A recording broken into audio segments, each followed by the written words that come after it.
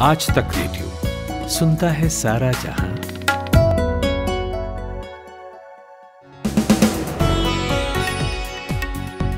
नमस्कार, ये है सितंबर 2021 की आखिरी शाम। दिन गुरुवार, मैं हूँ नितिन ठाकुर।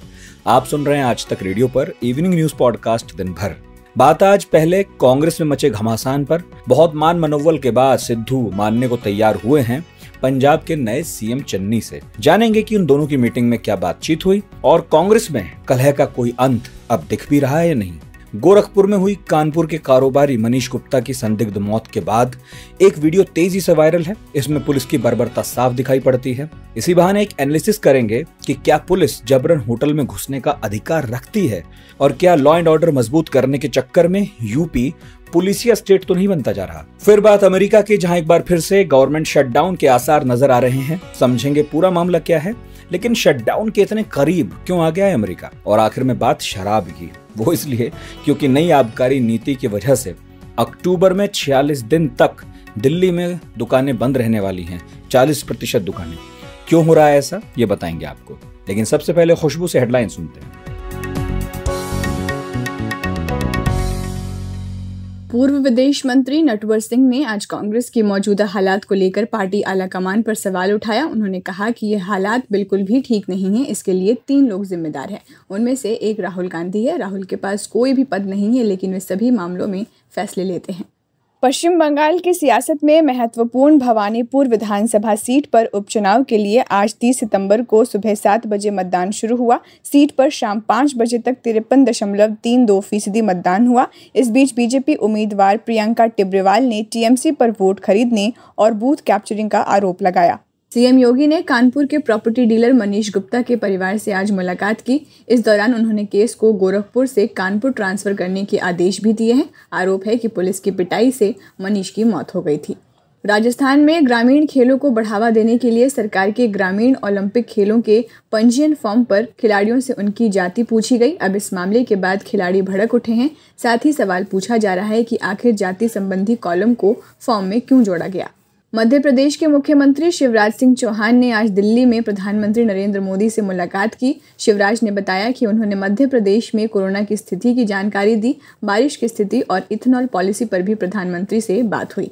राष्ट्रीय महिला आयोग ने उन मीडिया रिपोर्ट्स का स्वतः संज्ञान लिया है, जिनमें एक महिला वायुसेना अधिकारी ने अपने एक साथी पर यौन उत्पीड़न का आरोप लगाया था। साथ ही वायुसेना के डॉक्टर्स ने पीड़िता को टू फिंगर टेस्ट के लिए कहा था। बता दें कि सुप्रीम कोर्ट ने आठ साल पहले टू फिंगर टेस्ट पर रोक लगा दी थी। कन्नड़ टेलीविज़न एक्ट्रेस सौजन्या ने फांसी लगाकर आत्महत्या कर ली है। आज सुबह बेंगलुरु के अपार्टमेंट में वे मृत पाई गई। पुलिस ने उनकी लाश के साथ सुसाइड नोट भी बरामद किया है, जिसमें उन्होंने लिखा है कि उनकी मौत के लिए किसी को जिम्मेदार नहीं ठहराया जाए। Air chief marshal V R Chaudhary ने आज भारतीय वायुसेना के प्रमुख का कार्यभार संभाला। चौधरी देश के सत्ताईसवें वायुसेना प्रमुख बने हैं। वे नेशनल डिफेंस एकेडमी के छात्र रहे और डिफेंस सर्विसेज़ स्टाफ कॉलेज से भी ग्रेजुएट है।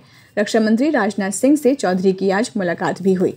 और चेन्नई सुपर किंग्स ने आईपीएल 2021 फ़ेज़ दो में आज सनराइजर्स हैदराबाद के खिलाफ टॉस जीतकर पहले गेंदबाजी करने का फैसला किया है। इस मैच से पहले चेन्नई की टीम 10 मैचों से 16 अंक लेकर पॉइंट्स टेबल में पहले स्थान पर है। वहीं सनराइजर्स हैदराबाद की टीम 10 मैचों से चार अंक लेकर आठवें और आखिरी स्थान पर है।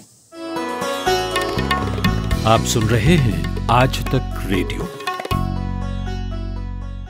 बात आज सबसे पहले पंजाब कांग्रेस की, जहाँ दंगल हो रहा है, और दिन पर दिन ये दंगल जो है अब दिलचस्प होता जा रहा है। पहले नवजोत सिंह सिद्धू ने पंजाब प्रदेश अध्यक्ष के पद से इस्तीफा दे दिया। अब कैप्टन अमरिंदर सिंह ने कांग्रेस छोड़ दी।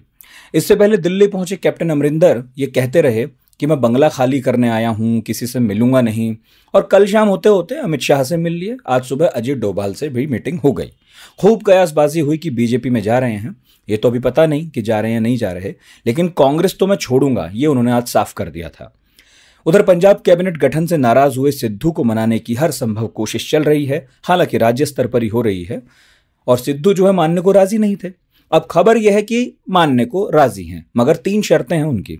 पंजाब के सीएम चरणजीत सिंह चन्नी ने सिद्धू से आगे बढ़कर बातचीत की पेशकश की थी। सिद्धू ने उनका प्रस्ताव माना, फिर बातचीत हुई भी। लेकिन मीटिंग से पहले पंजाब कांग्रेस के पूर्व अध्यक्ष सुनील जाखड़ ने सिद्धू पर बहुत बड़ा हमला बोला। नाम लिए बिना कहा कि बहुत हो गया है बार बार सीएम की काबिलियत पर सवाल उठाना बंद कीजिए। अब इस मीटिंग को लेकर हर किसी की नज़रें इसी बात पर टिकी हैं कि पंजाब की राजनीति में आगे क्या होता है। कांग्रेस का कुनबा अब संभलेगा या नहीं संभलेगा? तो आज जो इन दोनों की मीटिंग हुई, इसमें क्या हुआ? ये हमने पूछा आज तक रेडियो के रिपोर्टर सत्येंद्र चौहान से। देखिए, बाहर से ये दिखाने की कोशिश की गई है कि चरणजीत सिंह चन्नी और नवजोत सिंह सिद्धू के बीच में जो बयान चल रही थी, जो विवाद चल रहा था, वो थम गया है। लेकिन अंदर खाते बात करें तो ये इतना आसान नहीं है कहना कि सब कुछ ठीक हो गया है। और ठीक भी होता है तो ये समय लेगा, इतनी जल्दी ठीक होने वाला है नहीं। दूसरी बात, अंदर खाते जो खबरें निकल कर आ रही है, नवजोत सिंह सिद्धू दरअसल पंजाब के एडवोकेट जनरल की पोस्ट को लेकर अड़े हुए थे। लेकिन मुख्यमंत्री चरणजीत चन्नी ने साफ़ कर दिया है कि वो एडवोकेट जनरल को नहीं हटाएँगे, लेकिन जो सैक्रिलेज केसेज है, जो बेअदबी के मामले हैं धार्मिक ग्रंथों की, उनको लेकर एक सेपरेट कोई सॉलिसिटर जनरल नियुक्त कर सकते हैं, जो अलग से सिर्फ़ इन कामों को देखेगा। और देखिए, जब से मुलाकात शुरू हुई थी मीटिंग शुरू हुई थी, तकरीबन घंटों के हिसाब से मीटिंग चली है तो ये भी कहा जा रहा था कि दोनों में सुलह का फार्मूला तैयार हो गया है, और इसके बाद एक ज्वाइंट प्रेस कॉन्फ्रेंस की जा सकती है। लेकिन जिस तरीके से चरणजीत सिंह चन्नी और नवजोत सिंह सिद्धू मीटिंग छोड़कर अलग अलग निकले हैं। मीडिया के सामने नहीं आए, किसी तरह की कोई बात नहीं की। हालाँकि चरणजीत सिंह चन्नी ने विक्ट्री साइन ज़रूर दिखाया है। तो चरणजीत सिंह चन्नी अगर विक्ट्री साइन दिखा रहे हैं तो उनकी तो जीत लगातार हो ही रही है, क्योंकि अब ये सारा मामला, सारा बोझ, सारा प्रेशर सारा दबाव कहीं ना कहीं नवजोत सिंह सिद्धू के ऊपर है। तो कुल मिलाकर मीटिंग काफ़ी लंबी चली है।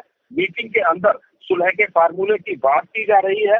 हो सकता है फॉर्मूला तय भी हो गया हो लेकिन आने वाला समय ही बताएगा कि ये फॉर्मूला परवान किस तरीके से चढ़ता है, क्योंकि नवजोत सिंह सिद्धू के तौर तरीकों तेवरों और उनकी बॉडी लैंग्वेज को देखें तो लग ऐसा रहा है कि आने वाले समय में भी ये वाद विवाद की जो प्रक्रिया है, ये निरंतर जारी रहेगी और नवजोत सिंह सिद्धू खामोश रहने वाले नहीं है। कुल मिलाकर पंजाब कांग्रेस में जो अंतर है जारी थी, वो फ़िलहाल एकदम साफ़ होती, खत्म होती हुई नज़र नहीं आ रही है।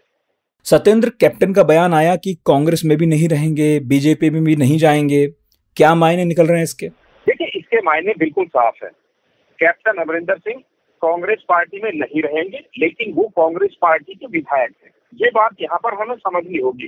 संवैधानिक एक प्रक्रिया होती है, यहाँ तो कैप्टन अमरिंदर सिंह को अपनी विधायकी, यानी कि एमएलए शिप से रिजाइन करना पड़ेगा। उसके बाद वो कोई और पार्टी ज्वाइन कर सकते हैं।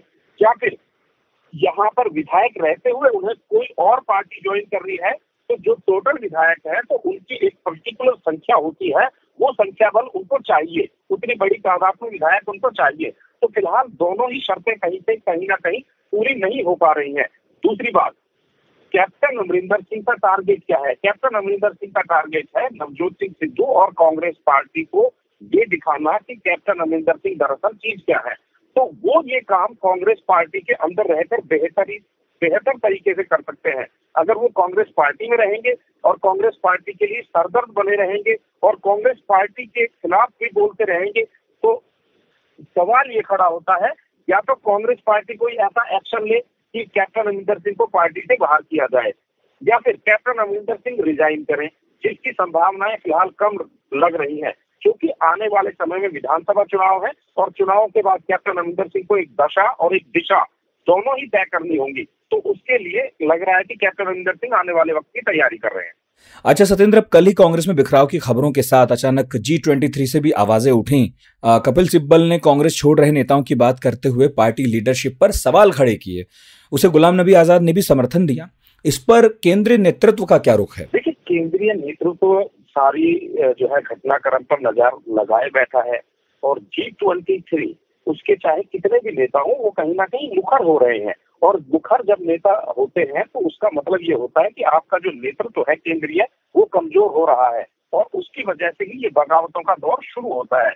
अगर फ़िलहाल की बात करें तो देखिए, कल इस तरह के कयास भी लगाए जा रहे थे कि कैप्टन अमरिंदर सिंह भी जी ट्वेंटी थ्री के नेताओं से मिलने जा सकते हैं, लेकिन वो गए नहीं। क्योंकि कैप्टन अमरिंदर सिंह कह रहे हैं कि अगर मुझे जी ट्वेंटी थ्री के नेताओं से मिलना है तो मैं उस सूरत में होता जब उन्होंने कांग्रेस पार्टी को छोड़ना नहीं था। क्योंकि वो तय कर चुके हैं कांग्रेस पार्टी को छोड़ना है तो कांग्रेस के नेताओं से संपर्क रख के या संबंध बनाकर उनको करना क्या है? तो कुल मिलाकर जी जी ट्वेंटी थ्री है, वो ग्रुप जो है, जिसमें जम्मू कश्मीर के पूर्व मुख्यमंत्री गुलाम नबी आज़ाद है, कपिल सिब्बल हैं यहाँ तक कि पूर्व हरियाणा के मुख्यमंत्री भूपेंद्र हुड्डा का नाम भी इसमें जोड़ा गया था मनीष तिवारी हैं। तो ये वो लोग हैं जो दिल्ली में बैठकर केंद्रीय राजनीति कर रहे हैं। मैं वर्दी को शरीर का नहीं आत्मा का लिबास मानता हूँ। जब तक मेरे शरीर में आत्मा है ये वर्दी नहीं उतर सकती। उन्नीस सौ नवासी में आई फ़िल्म वर्दी की कसम में पुलिस के किरदार में मशहूर हुए फ़िल्म अभिनेता जितेंद्र। भले ही वर्दी को आत्मा का लिबास मानते हूँ, मगर असल में पुलिस व्यवस्था में ऐसा मानने वालों की बहुत कमी है। दाग लगाने वाले भी वर्दी पहनने वालों के बीच में ही हैं। इतिहास गवाह है, न जाने कितनी बार कानून के रखवालों ने ही कानून हाथ में लिया। इन दिनों गोरखपुर पुलिस सवालों के घेरे में है। कानपुर के एक व्यापारी की मारपीट के बाद हत्या का उस पर आरोप लगा है। कानपुर के बर्रा इलाके में रहने वाले कारोबारी मनीष गुप्ता दो दोस्तों के साथ 27 सितंबर को गोरखपुर में थे, एक होटल में रुके थे। पुलिस की एक टीम रात में करीब 12 बजे रेगुलर जाँच के लिए उस होटल में पहुँची, जहाँ मनीष गुप्ता थे और कथित तौर पर मारपीट की। उनकी मौत हो गई और ये पहली बार नहीं है जब ऐसा आरोप गोरखपुर पुलिस पर लगा हो। बीते तेरह अगस्त को भी गोरखपुर में रामगढ़ताल थाना पुलिस पर ऐसा ही आरोप लगा। आरोप यह था कि 20 साल के गौतम सिंह की पुलिस कस्टडी में संदिग्ध हालत में मौत हो गई। हालाँकि बाद में पुलिस ने इस मामले में केस दर्ज किया कि ये जो युवक था, वो अपनी प्रेमिका से मिलने गया था। और लड़की के परिवार वालों ने उसे पीट कर मार डाला। अगस्त महीने में केंद्रीय गृह राज्य मंत्री नित्यानंद राय ने लोकसभा में एक सवाल का जवाब दिया था और कहा था कि पिछले तीन साल में पुलिस कस्टडी के दौरान देश भर में 348 लोगों की मौत हुई। साथ ही ये भी पाया गया कि इसी अवधि में हिरासत में एक हज़ार एक सौ नवासी लोगों को यातना झेलनी पड़ी।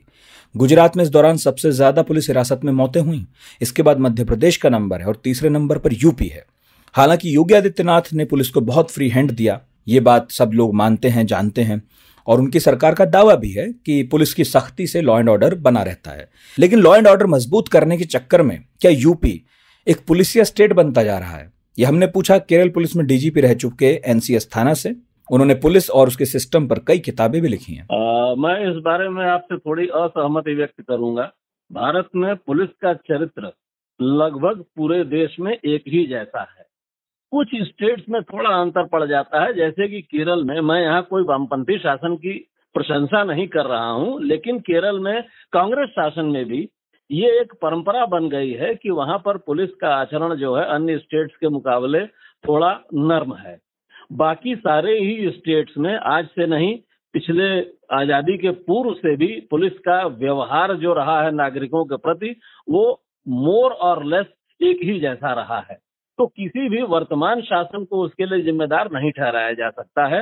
पुलिस आज से नहीं, पिछले 160 वर्षों से अपने अधिकारों का दुरुपयोग करती आ रही है और ये बात एक नहीं, अनेक सुप्रीम कोर्ट के जजमेंट्स में प्रमाणित हो चुकी है। एक नहीं, अनेक मतलब मतलब पुलिस ने जैसे कि सेक्शन 109 है सीआरपीसी का, जिसको कि आज़ादी के पूर्व जब फारसी मिश्रित भाषा में पुलिस वाले उसके ऊपर रिपोर्ट बनाया करते थे। सेक्शन 109 में प्रोविज़न ये है कि कहीं कोई मतलब पुलिस ये आरोप लगा सकती है कि कहीं कोई व्यक्ति अपराध करने की नीयत से अपनी मौजूदगी छिपाए हुए है। तो मतलब उसने कुछ किया नहीं है, लेकिन दरोगा जी को यह संदेह हो रहा है कि अपराध कर लेगा। तो पुराने जमाने में फारसी मिश्रित हिंदी में लिखा जाता था और आज़ादी के बाद भी बहुत जगह लिखा जाता रहा कि बनियत बनियत इर्तकाव जुर्म अपनी मौजूदगी छिपाए हुए था। जुर्म करने की नीयत से अपनी मौजूदगी छिपाए हुए था। तलाशी लेने पर एक चाकू अदद, एक चाकू बरामद हुआ फल आहनी दस्ता चौबी, जिसका ब्लेड जो है लोहे का था और हैंडल जो है लकड़ी का था। और बहुत ज़्यादा बुद्धिमानी दिखाई किसी पुलिस वाले ने तो जंग लगी हुई तालियों का एक गुच्छा भी दिखा देगा, एक मोमबत्ती भी दिखा देगा और एक माचिस भी दिखा देगा कि मोमबत्ती से माचिस से मोमबत्ती जला के उसकी रोशनी में चोरी करता। तो इस प्रकार की शक्तियाँ जो 1861 से पुलिस को एक औपनिवेशिक शक्ति ने दे दी थी, वो अभी तक चली आ रही है, यही इस देश का सबसे बड़ा दुर्भाग्य है। जब गलत शक्तियाँ दे दी गई हैं तो उनका दुरुपयोग भी होगा और दुरुपयोग उनका अनंत काल से होता आ रहा है। प्राय सारे ही राज्यों में होता आ रहा है, क्योंकि आप सुप्रीम कोर्ट, हाई कोर्ट के जजमेंट्स इस पर उठा के देख लेंगे। 1920s के भी जजमेंट मौजूद हैं, जबकि इन पावर्स का दुरुपयोग किया जा रहा था। तो उसमें किसी भी एक के ऊपर दोष लगाना कि अब ये पुलिसिया राज्य बनता जा रहा है ऐसा सही नहीं है क्योंकि वस्तुतः ये पूरा देश ही पुलिसिया देश बनता रहा है अनंत काल से। क्या पुलिस को हमारे घरों में मनचाहे तरीके से घुसने का हक है? और होटल के नियम क्या कहते हैं इस बारे में? पुलिस को किसी भी घर में या किसी भी होटल जैसे व्यावसायिक प्रतिष्ठान में घुसने का अधिकार नहीं प्राप्त है। इस विषय में सुप्रीम कोर्ट के दो आदेश एकदम स्पष्ट है। माननीय सुप्रीम कोर्ट ने उन्नीस सौ बासठ में ही खड़क सिंह के केस में आदेश दिया था कि डोमिसिलियरी विज़िट जो है, किसी के मतलब अपराधी के भी घर पर जाकर ये चेक नहीं किया जा सकता है कि तू घर पर है कि नहीं है। उसके बाद उन्नीस सौ तिरानबे में मोहम्मद शफी के केस में आदेश दिया गया कि पुलिस वाले इस तरह से घर के बाहर भी खड़े नहीं हो सकते हैं, जिससे आपकी प्राइवेसी का उल्लंघन हो रहा हो। अगर किसी घर के ऊपर किसी कारण से निगाह रखना आवश्यक भी है तो वो निगाह गोपनीय तरीके से रखी जानी चाहिए, ताकि घर वालों की निजता का या प्राइवेसी का उल्लंघन न हो कि बाहर पुलिस खड़ी होकर मुझ पे ताव देके उनकी प्राइवेसी का उल्लंघन कर रही है और जनता को ये बता रही है कि ये कुछ इस टाइप के संदिग्ध प्राणी हैं कि इनके ऊपर निगाह रखना आवश्यक हो गया है। होटल में पुलिस को घुसने का कतई अधिकार नहीं है और ये लोगों की प्राइवेसी का उल्लंघन है और पुलिस ये दलील कतई नहीं दे सकती है कि उनको कोई गोपनीय सूचना मिली थी कि वहाँ कोई अपराधी है या कोई आतंकवादी है। क्योंकि इस प्रकार की झूठी गोपनीय सूचना की दलील तो आप कभी भी दे सकते हो। किसी के घर में घुसने के लिए दलील दे सकते हो कि फलाने के घर में आतंकवादी छिपा है या अपराधी छिपा है। इस तरह से पुलिस को घुसने का कहीं कोई अधिकार नहीं प्राप्त है। अपार हर्ष के साथ सभी सुनने वालों को सूचित किया जाता है कि वॉइस नोट में आवाज़ में अपना रिएक्शन भेजना चाहते हैं और वो आसान भी है बस बटन दबाइए भेजिए। तो नंबर है लिख लीजिए कि निन्यानवे पाँच सौ तैतीस दो सौ तैतीस ज़ीरो तीन। जो लोग दूरदर्शन के अभ्यस्त हैं उनके लिए मैं पढ़ दूँ इसको। नौ नौ पाँच तीन तीन दो तीन तीन शून्य तीन। गुमशुदा तलाश के लेकिन ठीक है इसमें मतलब तीन ताल का जो नंबर आपने बताया है उसमें पाँच बार तीन आया है तो याद तो बाकी पाँच ही करने हैं। हाँ। तीन तीन की भरमार है इसमें। हाँ तीन साल में तीन की भरमार होनी भी चाहिए। बात अब अमेरिका की जहाँ एक बार फिर से गवर्नमेंट शटडाउन के आसार नज़र आ रहे हैं। अमेरिकी सरकार के लिए तय की गई ऋण यानी कर्ज लेने की सीमा पर यह विवाद शुरू हुआ था और अब यह मामला यहाँ तक आ पहुँचा है कि सरकार और विपक्ष एक दूसरे के सामने अड़ गए हैं, भिड़ गए हैं और एकदम एक स्थिति ऐसी बन गई है कि सब कुछ रुक सा गया है। कोई किसी से सहमत होने को राज़ी नहीं है। अगर यह स्थिति और भी दिन चली तो फिर रिज़ल्ट शटडाउन के रूप में ही सामने आएगा, जो कभी भी सरकार तो नहीं चाहेगी। इसके पहले भी शटडाउन का गंभीर परिणाम अमेरिका भुगत चुका है।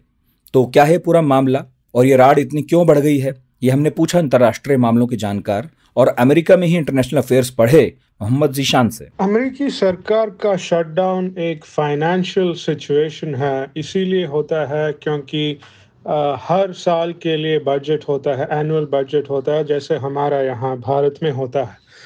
और शटडाउन इसीलिए होता है क्योंकि ये अगर ए, ये बजट को यूएस कांग्रेस जो अमेरिका की पार्लियामेंट है अगर वहाँ पर बजट को फंडिंग यूएस गवर्नमेंट फंडिंग के लिए अप्रूव नहीं हुआ है तो इसके साथ ही यूएस uh, गवर्नमेंट का जो फंडिंग है उसमें शॉर्टेज हो जाता है और कई ऐसा नॉन एसेंशियल गवर्नमेंट डिपार्टमेंट्स होते हैं उनको क्लोज करना पड़ेगा। तो यही स्थिति है। अब इसीलिए होता है क्योंकि कुछ ना कुछ डिस्प्यूट हो जाता है और आज का डिस्प्यूट यही है कि जो बाइडेन का गवर्नमेंट एक वन ट्रिलियन डॉलर प्लान लेके आए हैं अमेरिका अमेरिकन इंफ्रास्ट्रक्चर को डेवलप करने के लिए और उसको मेंटेन करने के लिए। लेकिन रिपब्लिकन्स इसको नहीं मानते हैं और डेमोक्रेट्स इसको पास करना चाहते हैं। तो इसी के साथ डिस्प्यूट हो जाता है यूएस कांग्रेस में और इसीलिए बिल पास नहीं होता है और फंडिंग नहीं मिलता है यूएस गवर्नमेंट को। तो यही स्थिति है अब वेंसडे या थर्सडे को यही खबर है कि सेनेट में शायद वोटिंग हो जाएगा और अगर फंडिंग का बिल पास हो गया बजट को पास कर दिया तो फिर वो यूएस हाउस ऑफ़ रिप्रेजेंटेटिव्स को जाएगा जो दूसरा चेंबर है यूएस कांग्रेस में, और अगर वहाँ पर भी पास हो गया तो फिर प्रेसिडेंट को जाता है, और अगर प्रेसिडेंट ने इसको साइन कर दिया तो फिर मामला ख़त्म हो जाता है। जीशान, अगर शटडाउन होता है तो इसके क्या नुकसान अमेरिका को झेलने पड़ सकते हैं? और इससे पहले जो शटडाउन हुआ था, वो किन कारणों से हुआ था, उसके क्या नुकसान हुए थे? जब यूएस गवर्नमेंट का शटडाउन होता है तो कई ऐसा नॉन एसेंशियल सर्विसेज़ होते हैं, जैसे for example national parks national park department का जो एम्प्लॉयज़ होते हैं, इनको नॉन असेंशियल एम्प्लॉयज़ माने जाते हैं। और अगर फंडिंग नहीं होता है बजट नहीं होता है तो यूएस गवर्नमेंट का शटडाउन हो जाता है। और इसी के साथ ये इन पार्क नेशनल पार्क सर्विस का एम्प्लॉयज़ ये एक ही एग्जांपल है, ऐसे कई डिपार्टमेंट्स होते हैं। इन लोगों को रिहा करना चाह कर देना चाहिए उनको फरलो कर कर देना चाहिए, ऐसा बोलते हैं अमेरिकन लॉ में। और इस, इसका यही मतलब है कि उनको सैलरी के बिना काम करना पड़ेगा, नहीं तो काम छोड़ देना चाहिए। तो इसी प्रॉब्लम हो जाता है और डिपार्टमेंट शट डाउन हो जाता है नहीं तो पार्शली फंक्शनल हो जाता है। पिछले कई बार ऐसा हुआ है लास्ट इंस्टेंस यही है कि डोनाल्ड ट्रंप का प्रेसिडेंसी में 35 डेज़ के लिए यूएस गवर्नमेंट का शटडाउन हुआ था 2018 में। ये अमेरिकन हिस्ट्री में सबसे लंबा शटडाउन का इंस्टेंस है थर्टी फाइव डेज़ और उस वक्त इसी डिस्प्यूट था कि uh, आपको शायद याद रहेगा कि डोनाल्ड ट्रंप मैक्सिकन बॉर्डर पर एक दीवार बनाना चाहता था। और इसी के लिए डोनाल्ड ट्रंप ने फंडिंग का इस्तेमाल करने के लिए यूएस कांग्रेस से इसका इंतज़ाम करने के लिए रिक्वेस्ट किए थे। लेकिन डेमोक्रेट्स का मानना था कि ये मैक्सिकन वॉल दीवार एक अच्छा स्पेंडिंग प्रोजेक्ट नहीं होगा तो डेमोक्रेट्स इससे इसको मान नहीं माना। तो इसी के साथ वहाँ पर डिस्प्यूट हो गया था। बाद में कॉम्प्रोमाइज सॉल्यूशन हो गया था कि फंडिंग बिल में मैक्सिकन वॉल का प्रोविज़न नहीं होगा, इसको मिटा दिए और इसको मिटाकर यूएस कांग्रेस ने फंडिंग बिल को पास कर दिया। आज उतनी भी मयसर नहीं मैखाने में जितनी छोड़ दिया करते थे कभी पैमाने में। शराबी फ़िल्म में अमिताभ बच्चन की लड़खड़ाती आवाज़ में आपने शेर सुना होगा, लेकिन ये हकीकत बनने जा रहा है दिल्ली में, जहाँ अगले 45 दिन के लिए शराब मिलेगी तो मगर थोड़ी कम। शराब की 40 फ़ीसदी दुकानें, यानी कि जो प्राइवेट दुकानें हैं सारी, वो बंद रहेंगी। इस फेरबदल की वजह है दिल्ली सरकार की नई आबकारी नीति और नई नीति लागू होने के बाद एक अक्टूबर से प्राइवेट दुकानों को बंद कर दिया जाएगा। नई आबकारी नीति के तहत दो सौ छियासठ प्राइवेट शराब की दुकानों के साथ सभी साढ़े आठ शराब की दुकानें टेंडर के ज़रिए निजी कंपनियों को दे दी गई। इसके अलावा नए लाइसेंस होल्डर शहर में शराब की होलसेल बिक्री 17 नवंबर से शुरू कर सकेंगे। तो क्यों ज़रूरत पड़ी दिल्ली सरकार को नई आबकारी नीति की? इस पॉलिसी में क्या है? ये जानने के लिए हमने बात की दिल्ली में आज तक रेडियो रिपोर्टर सुशांत मेहरा से। देखिए, मैं आपको बता दूँ, सरकार एक नई पॉलिसी लेके आई है, एक्साइज पॉलिसी। उसके तहत पंद्रह सत्रह नवंबर से आपको जो वाइन शॉप्स है, जो कि लिकर शॉप्स हैं, वो ओपन होंगी। लेकिन इसका एक ट्रांसमिशन एक पीरियड होगा। वो पीरियड कल से शुरू हो रहा है एक अक्टूबर से सोलह नवंबर तक जितनी भी प्राइवेट शॉप्स है, क्योंकि दिल्ली में ऑलमोस्ट अगर कहा जाए, तकरीबन इस वक्त 720 लिकर की शॉप है गवर्नमेंट और नॉन गवर्नमेंट दोनों। इनमें से 260 जो वाइन शॉप्स है लिकर शॉप्स हैं, उनको प्राइवेट जो शॉप्स हैं, उनको क्लोज किया जा रहा है। डेढ़ महीने के लिए। इसके बाद रीटेंडर का जो प्रोसेस है, वो पूरा हो चुका है तकरीबन अब सेवनटीन नवंबर से अगर कहा जाए तो दिल्ली में आठ सौ पचास नई लिकर शॉप्स जो है वो ओपन होंगी। ऐसा नहीं है कि लोगों को लिकर नहीं मिलेगी। पूरी तरह से दिल्ली के अंदर लिकर जो है वो बंद हो रही है। नहीं, ऐसा नहीं है, बल्कि इसमें कहा जाए तो दिल्ली के अंदर जो लिकर है, वो आपको पैंतालीस दिनों के लिए, चालीस दिनों के लिए ऑलमोस्ट पैंतालीस से चालीस दिनों के लिए नहीं मिलेगी। सिर्फ़ प्राइवेट वाइन शॉप्स पे गवर्नमेंट शॉप्स पे जो है वो आपको लिकर मिलेगी इजीली मिलेगी। सरकार की तरफ़ से कोशिश है कि लिकर की कोई कमी ना हो। हालाँकि इसके अलावा अगर बात की जाए, समस्याएँ क्या क्या आने वाली है तो वो भी मैं आपको बताऊँगा। लेकिन ये समझना होगा कि जब ये लिकर नहीं मिलेगी तो गवर्नमेंट जो वाइन शॉप्स हैं, उन पर लोगों को जाना पड़ेगा। वहीं से उनको वाइन शॉप जो है वो खरीदनी पड़ेगी। हालाँकि कोविड पीरियड है, लोगों को जद्दोजहद का सामना भी करना पड़ेगा। सरकार की तरफ़ से ये कहा गया है कि अगर ये पॉलिसी इंप्लीमेंट होती है तो सरकार को दस हज़ार करोड़ का रेवेन्यू मिलेगा। अभी फ़िलहाल मौजूदा अगर टाइम पीरियड की बात करें तो पैंसठ सौ करोड़ रुपए का सरकार को लिकर से जो है वो टैक्स मिलता है, और इनमें से अगर सरकार की ये नई पॉलिसी इंप्लीमेंट होती है, उसकी नई लिकर पॉलिसी लागू होने के बाद कई सारी बोलियाँ लगेंगी, और बड़ी स्तर पर जो है लोगों को जो वाइन शॉप्स है, जो खुलने का मौका मिलेगा, सरकार के, सरकारी खजाने में काफ़ी मोटा अमाउंट जो है वो आएगा। ऐसे में सरकार की उम्मीद है, तकरीबन पैंतीस सौ करोड़ के आसपास जो अमाउंट है वो सरकार के खाते में आएगा। यानी कि अगर माना जाए तो सरकार को दस हज़ार करोड़ रुपए का रेवेन्यू जो है वो स्पीकर के ज़रिए जो है वो मिलेगा। ये पूरा जो है वो सरकार की तरफ़ से खाका जो है वो तैयार किया गया है। सुशांत, ये तो पॉलिसी की बात हो गई, लेकिन इस दौरान शराब की अवेलेबिलिटी को लेकर जो हालात बनेंगे उसके लिए कोई अलग से इंतज़ाम किए गए हैं क्या? क्या, कैसी समस्या आ सकती है? देखिए, दिल्ली सरकार की तरफ़ से जो दिल्ली के तमाम जो वाइन शॉप सरकारी है, उनमें अगर बात की जाए, क्योंकि सात सौ बीस टोटल ओवरऑल वाइन शॉप्स थी, जिनमें से 260 अगर हट जाते हैं तो तकरीबन 460 वाइन शॉप्स अभी भी ओपन रहेंगी। वहाँ पर आपको लिकर आसानी से मिलेगी, लेकिन आपको थोड़ा सा इंतज़ार करना पड़ेगा, लंबी लाइन से गुजरना पड़ेगा, क्योंकि जो प्राइवेट वाइन शॉप होती है, उनका इंफ्रास्ट्रक्चर गवर्नमेंट वाइन शॉप्स के मुताबिक काफ़ी ज़्यादा एडवांस होता है, उनके पास हाईटेक होते हैं कई तरीके की मैन पावर भी होती है। सरकारी वाइन शॉप्स पर काफ़ी कम मैन पावर होती है, इसलिए लोगों को परेशानी का सामना करना पड़ेगा। इसके अलावा अगर बात की जाए जो दिल्ली लीकर ट्रेडर एसोसिएशन है उसने सुप्रीम कोर्ट का दरवाज़ा भी कराया है कि भैया की ये फेस्टिवल सीज़न है और अगर आप चालीस दिनों के लिए दिल्ली में प्राइवेट लिकर्स को बंद कर रहे हैं तो अफरा तफरी मछली तय है। सरकार को तकरीबन इनके हिसाब से एक हज़ार करोड़ रुपए का इन पैंतालीस दिनों, चालीस दिनों के अंदर रेवेन्यू का लॉस होगा। लोग गुरुग्राम से जो वाइन है, वो खरीद करके लाएँगे लिकर जो है वो खरीद के लाएँगे। उसके दिल्ली सरकार का रेवेन्यू का लॉस होगा। ये जो मानना है, ये मानना है दिल्ली लिकर ट्रेडर एसोसिएशन का।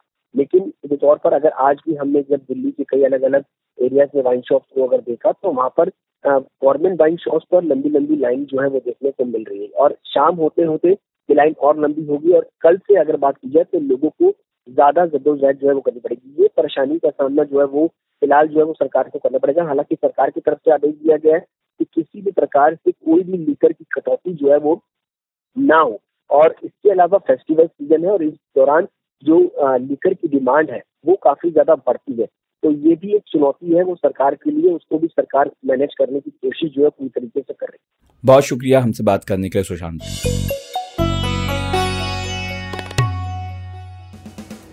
और अब विदा का वक्त है। आज पढ़ाकू नितिन का नया एपिसोड आ गया है। सुनने के लिए बस इतना ही करना है कि आज तक रेडियो के पेज पर जाएँ, पढ़ाकू नितिन आपको मिल जाएगा। या फिर किसी भी पॉडकास्ट प्लेटफॉर्म पर आपको अंग्रेज़ी में पढ़ाकू नितिन लिखना है। और सुनने के बाद बताइएगा कैसा लगा रेडियो एट द रेट आज तक डॉट कॉम पर। और अगर व्हाट्सएप करना है या वॉइस नोट भेजना है तो double nine five double three two double three zero three पर भेज दीजिएगा। आज का दिन भर प्रोड्यूस किया है खुशबू ने और साउंड मिक्सिंग की है अमृत रेगी ने। मेरा नाम नितिन ठाकुर है। सुनते रहिए आज तक रेडियो।